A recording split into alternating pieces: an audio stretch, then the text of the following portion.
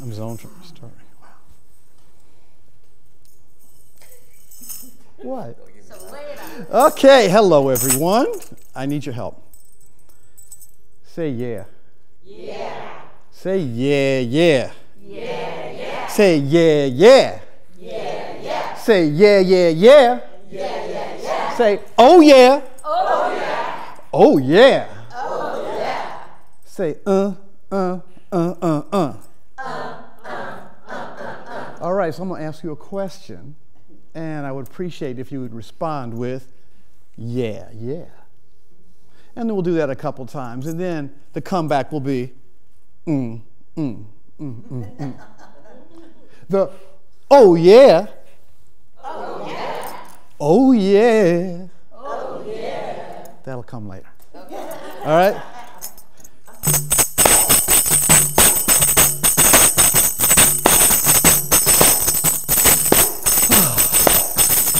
Have you got spirit? Have you got spirit? Have you got spirit?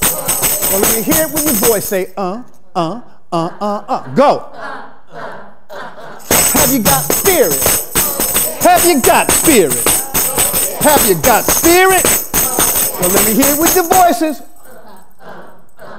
Let me hear it with your voices. Let me hear it with your claps. Have you got spirit? Have you got spirit? Have you got spirit? Well, let me see it with your shoulder.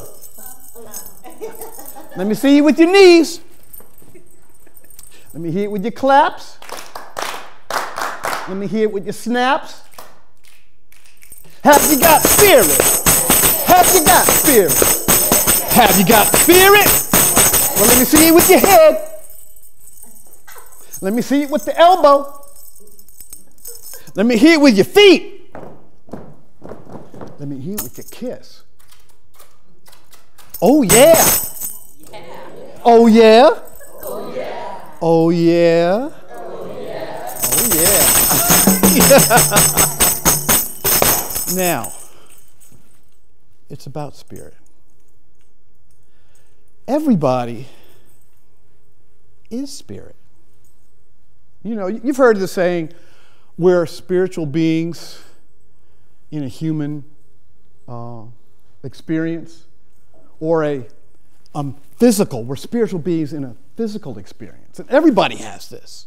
You know, at whatever level you have at whatever rate of assimilation you have for your physical experience through the spiritual body, everybody has it. I mean, now, one big example, and my wife can attest to this, and many other people I've talked to can attest this.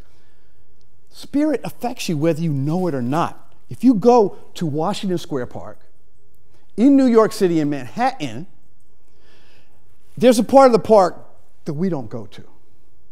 That's the park that has all the chess tables. It's also the side of the park that has all the drug dealers, because that ground was where they did the public hangings. So it's kind of weird there. There's still 20,000 bodies from the yellow fever epidemic underneath Washington Square. So it feels kind of weird. You know, it feels kind of weird. And, you know, spirit is always there. So how are you going to deal with it? You can't escape it. I mean, think about this. What's the stereotypical? You go in the house, it's dark, it's empty, and you hear noises. What should you do? GTFO. Do what, do what Jordan Peele said. Get out. Don't go in the door. Don't go up the st- No. Show some respect. This is how I had my, this is home training. They were there first. Let them be. You got that. I'll, I'll get a mortgage somewhere else, you know? But this, people deal with this stuff. But sometimes there are extenuating circumstances in relation to dealing with spirit. For an example, my daddy, when he was real little, about four or five years old, he got sick. He took sick, as he said. And the way he described it to me, his head swelled up. They, he said he called himself the waterhead baby. So he didn't know what to do. They took him to the hospital for observation. You know, gave him his blanket, they gave him some toys, they put him in there. And he was scared to death. He's like, this? Big, big, big, swelled up, didn't know what's going on. And you know, you know what happens in hospitals? That's what people go to to die. So my daddy's in this all by himself. It's late at night. And the door opens.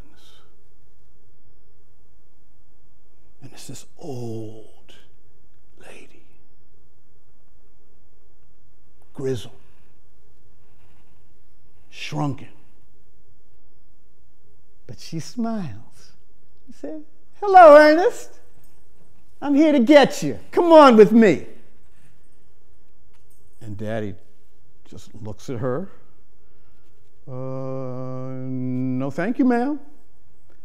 Boy, don't you know to respect your. Come on, let's get out of here. He just shakes that big waterhead of his. He's not, his eyes get bigger. He's not going anywhere. He said, What? Ernest, come with me right now. No, ma'am. Fine. But let me tell you, you're not coming with me now, but let me tell you, I'm not going home empty handed. So she bends down and scoops up all his toys and goes back out the door. Next morning, he wakes up. His head is back down, and his toys are gone. Spirit came, but he didn't go. Now, his mother, my grandma Charlie, Spirit came to her too. I know this because her wishes were fulfilled. She passed right where she told us she wanted to pass. She was surrounded by all her friends, playing cards, having a good time, and she just went, and was gone. And when they went to her room to collect all her effects, they opened the closet, empty. She had given away everything already. So, with stuff like this from my daddy and his mama, when things start happening to me, I can't say no. It kind of comes with the lineage, you know. But I don't appreciate it sometimes, but I have to accept it. Now, the, the only house I remember is the house on Rittenhouse Street. B- built in 1920, huge pine tree out in front. I had the front room with a window, a little diamond shaped window in my closet that looked right out on that pine tree. And we had surplus furniture. I had this old army surplus, heavy wood bunk beds that, that my father got. And so I'm in the bunk bed, laying there. I'm about four, five years old, laying there in the dark. And the closet is open that much. And out come the shadow people. They come out, they're like tunes, flat, two dimensional. And they come out and they slide along the wall of my bedroom. They never cross, they just come out. And I'm not, they don't give off menace, but this is, this is very disturbing for me. So I have my daddy take a blanket, tuck it in under the mattress on the top bunk. So these shadow people would come out, I couldn't see them, they couldn't see me, so we everybody had their individual space.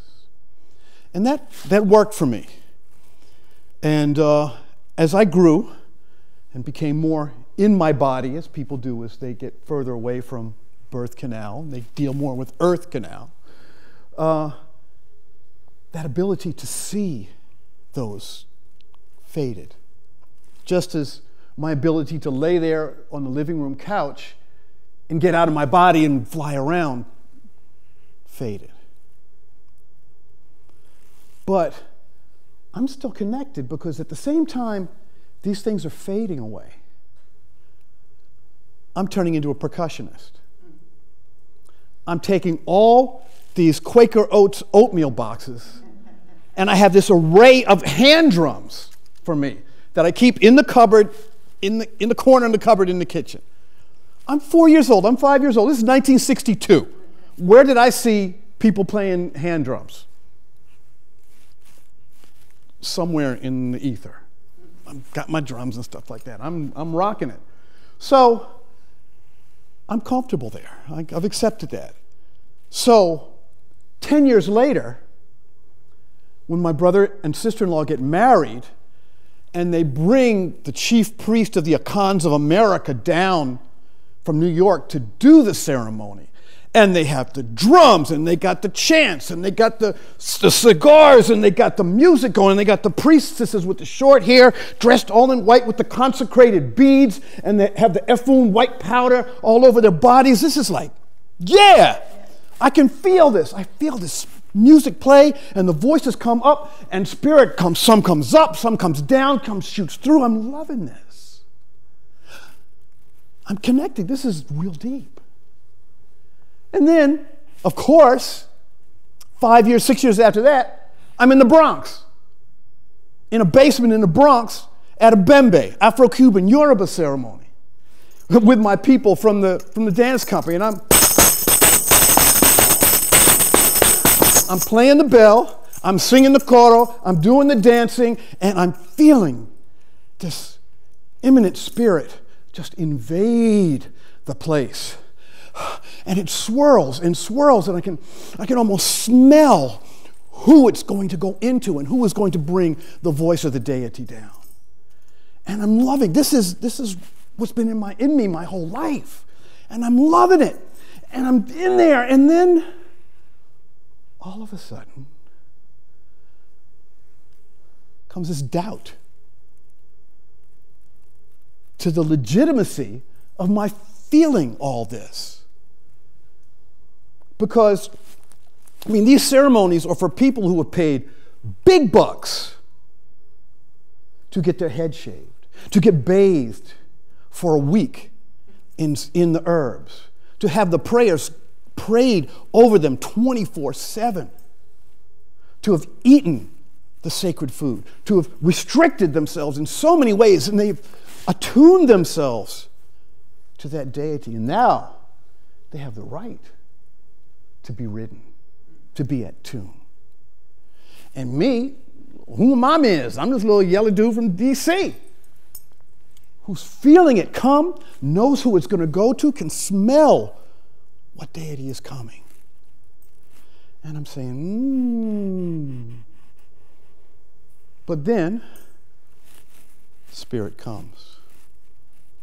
Because I'm still playing and I'm thinking and feeling getting smaller and smaller. And I look up, and right there is Obatala. You know, the great ancestor, the owner of dreams the one in white. In the body of a full figured brown woman with a short afro, with a St. Uh, St. Patty's Day green polyester dress on, with a hand on a hip, smeared with the sacred white power, powder just staring me in the heart. And in this energy that comes between us is complete knowledge of all that's going on in my soul. And I feel my just everything open up in response to that knowing, that knowing look. And I try to change the subject by trying to do some kind of traditional bow while I'm playing the drums, and it doesn't work because Obatala steps up and steps up. And arms go around my head, and I get pulled down, and I hear that heartbeat, and slowly get worked to the ground like a yearling at a rodeo. Boom! And I'm on the ground. And I'm held down there for until I get the message. and then I'm held back up. And as I get back up, all that I'm not legit because I didn't get collares and I haven't been consecrated and I haven't sat with the thing. Because I have lineage. I have my life of experience. And Spirit came, took me down, and lifted me up and said, you know, go forth, chillax. Now, and here I am. But when I think of now, when I think of those shadow people,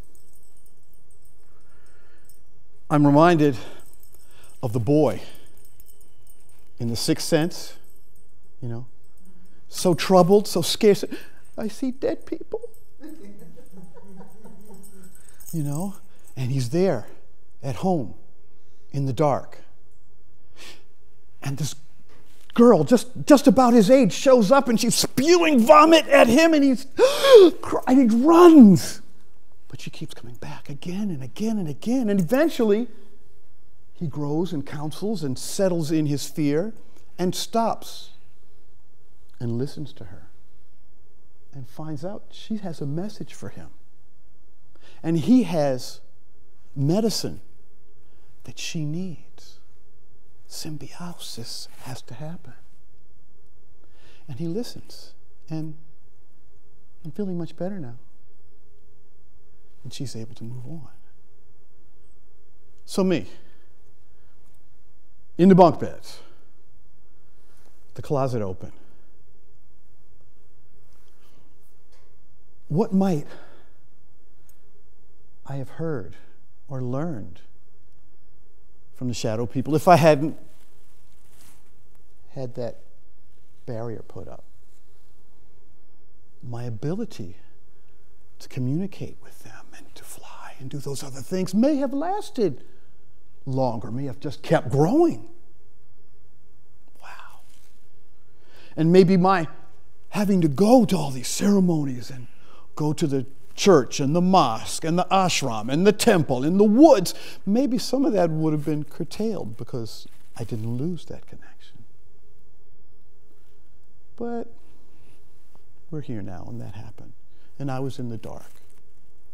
But you know, darkness is not so bad. Because when you're on the edge of darkness, that's when you can catch a glimmer of light.